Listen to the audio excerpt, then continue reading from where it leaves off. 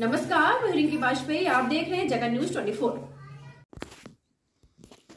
खबर झांसी के करोठा से आपको बता दें, झांसी के करोठा पुलिस को मिली बड़ी सफलता। चोरी करने की योजना बना रहे शातिर तीन चोरों को चोरी करने के उपकरण सहित किया गिरफ़्तार। पुलिस अधीक्षक झांसी जोगेंद्र कुमार एवं वरिष्ठ पुलिस अधीक्षक झांसी राजेश एस के कुशल निर्देशन में पुलिस अधीक्षक ग्रामीण नेपाल सिंह क्षेत्राधिकारी गरोठा विवेक सिंह के निकट परीक्षण व प्रभारी निरीक्षक रणविजय सिंह के दिशा निर्देश में उप निरीक्षक आशुतोष पटेल, में पुलिस टीम, थाना गरोठा द्वारा मुखबिर की सूचना पर चोरी करने की योजना बना रहे तीनों चोरों को मैं पुलिस चोरी करने के उपकरण एवं तमंचा चाकू से गिरफ़्तार कर लिया।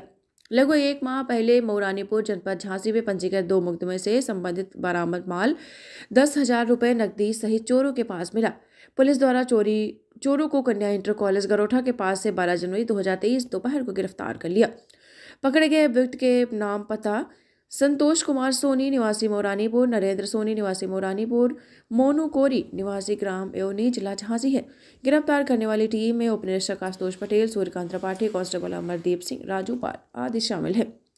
अनिल कुमार शर्मा की खास report, Karotha, Jhansi Jagan news